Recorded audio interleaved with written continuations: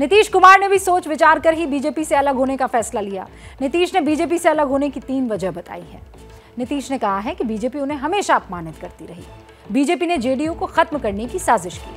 और नीतीश कुमार ने कहा कि बीजेपी ने उन्हें धोखा दिया है। धोखा, साजिश, अपमान। इन आरोपों की चर्चा बिहार की राजनीति में खूब होती रही। जब नीतीश कुमार बीजेपी के साथ सत्ता में साझेदारी करते हुए आए, तभी से उनके असंतुष्ट रहने की खबरें आने लगी। नीतीश कुमार की तकरार मोदी मंत्रिमंडल में हिस्सेदारी पर हुई। बिहार की राजनीतिक घटनाओं पर हुई। नीतीश के अपमान और साजिश वाले दावे की समीक्षा पर हमने इसीलिए आपके समझ के लिए एक रिपोर्ट तैयार की है। उसे देखिए आप। अब नीतीश कुमार और तेजस्वी यादव साथ साथ बिहार की राजनीति का नया अध्याय लिखने की तैयारी में है।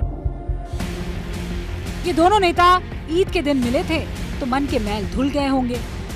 अब मुहर्रम के दिन प्रदेश ही नहीं देश की राजनीति का माहौल ही बदल दिया है। डीए का सरकार से परेशान था जनता और नीतीश बाबू बहुत दिन से सोच रहे थे कि कब निकले और निकलने का मौका मिला अब निकल गए। एक तो बात बता दे बिहार को राष्ट्र महाराष्ट्र होने से बचा लिए मुख्यमंत्री जी नीतीश कुमार जी।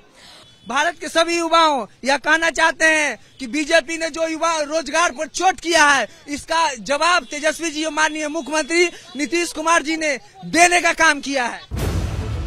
ये माहौल बदला है तो इसके पीछे कारण बहुत है। पहला कारण, नीतीश कुमार ने अपमान बताया। तो अपमान वाले नीतीश के दावे पर तकरार की एक तस्वीर देखी यह है विजय सिन्हा, जो बीजेपी कोटे से विधानसभा स्पीकर थे। 14 मार्च 2022 को मुख्यमंत्री की। अपने ही स्पीकर से जो बहस हुई वो भी माहौल बदलने की एक बड़ी वजह रही। आसन आसन की भी बात सुनी जाए। आप एक एक बात जान लीजिए। ये जब- बात किसी भी तरह से मंजूर नहीं है। जब प्रश्नकर्ता ने प्रश्न उठाया कि कुर्की जब्ती हुआ है कि नहीं माननीय मुख्यमंत्री जी जब प्रश्नकर्ता कुर्की जब्ती की बात उठाई उन्होंने जवाब नहीं दे पाया। माननीय मंत्री जी आपको जवाब नहीं दे पाए कुर्की जब्ती पर। स्पीकर के साथ सदन में तकरार से नीतीश इतने नाराज़ थे कि बीजेपी से अलग होने का मन बना ही लिया। दरअसल नीतीश कुमार विजय सिन्हा को स्पीकर नहीं बनाना चाहते थे लेकिन राजनीति में संख्या बल कम था तो बीजेपी की मांग पर झुकना पड़ा। नीतीश के मन में ये काटा गड़ा रहा और अब सत्ता जाने से बौखलाई बीजेपी पूछ रही है। कि दो साल से क्यों मौन थे? अगर उनको बीजेपी परेशान कर रही थी तो दो साल रुके क्यों हुए थे भाई? बीस में ही नहीं आप सरकार बनाते नमस्ते कर देते। तो सत्ता का सुख लेंगे मोदी जी के नाम पर जीत का आनंद लेंगे और आज छोड़कर चले जाएँगे। मान अपमान की कहानी आपने देखी? अब समझिए कि जेडीयू को तोड़ने का दावा नीतीश कर क्यों रहे हैं? आरसीपी सिंह को बिहार में नीतीश कुमार का सच्चा सेवक कहा जाता था। लेकिन ये विश्वास पात्र आरसीपी सिंह ही नीतीश कुमार को दगा दे गए। नीतीश कुमार केंद्रीय मंत्रिमंडल में सीटों के हिसाब से हिस्सेदारी मांग रहे थे। मोदी सरकार नीतीश को मात्र एक सीट देने पर राज़ी हुई। बातचीत की ज़िम्मेदारी नीतीश ने आरसीपी को सौंप दी। आरसीपी सिंह नीतीश की मर्ज़ी के खिलाफ एक सीट पर राज़ी हो गए और खुद मंत्री बन भी गए। ये नीतीश के विश्वास पात्र की ओर से पहला झटका था। नीतीश ये मानने लगे कि जेडीयू तोड़ने के लिए बीजेपी आरसीपी का इस्तेमाल कर सकती है। जब से महाराष्ट्र में शिवसेना पर शिंदे सेना हावी हुई, तब से नीतीश कुमार की आशंकाओं को आधार भी मिल गया।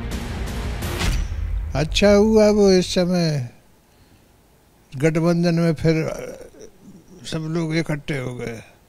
नहीं, आज नहीं, कल वो जो कह रहे थे वो तो होना था। पार्टी तोड़ देते कोई, क्योंकि आरसीपी सिंह जो है वो इस काम के लिए इंस्ट्रूमेंट है। नीतीश ने समझदारी ये बरती कि आरसीपी सिंह को दोबारा राज्यसभा नहीं भेजा। इससे मंत्री पद भी गया और साथ ही पार्टी से बाहर भी निकाल दिया गया। इस दाव से नीतीश कुमार ने पार्टी को बचा भी लिया और भविष्य में अपनी सियासत के चमकने की उम्मीद भी मज़बूत कर दी। बीते दो साल में कई छोटी छोटी घटनाओं की वजह से नीतीश और बीजेपी के बीच दूरियाँ तो बढ़ने लगी थी। बीजेपी के साथ गठबंधन में नीतीश कुमार को अपनी राजनीतिक प्रतिष्ठा के गिर जाने का खतरा भी लगने लगा था। 12 जुलाई को विधानसभा भवन के शताब्दी वर्ष समारोह के समापन समारोह में पीएम नरेंद्र मोदी आए थे। बिहार सरकार के खर्चे पर किए गए इस कार्यक्रम में नीतीश कुमार की फ़ोटो कहीं नहीं लगाई गई। नीतीश कुमार को ये बात खटकी। बीजेपी नेता उन्हें तीसरे दर्जे की पार्टी कहते रहे।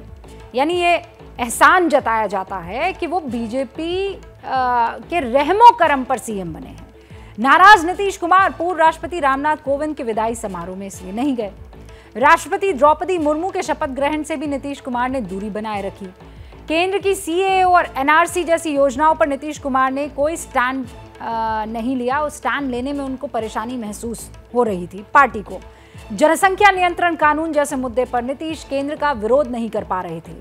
अग्निवीर योजना में बिहार सबसे ज़्यादा सुलगा, लेकिन नीतीश अपना स्टैंड क्लियर ही नहीं कर पाए थे। बीजेपी नेतृत्व के साथ धीरे धीरे इसी मनमुटाव के बाद नीतीश कुमार ने दूरियाँ बढ़ानी शुरू कर दी थी और अब उन्होंने अलग होने का फैसला तक ले लिया।